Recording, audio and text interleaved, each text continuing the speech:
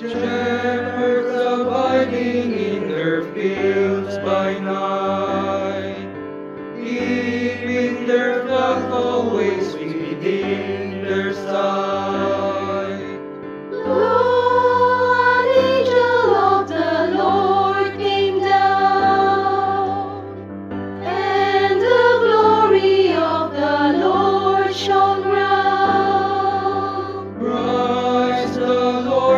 Christ is born this day.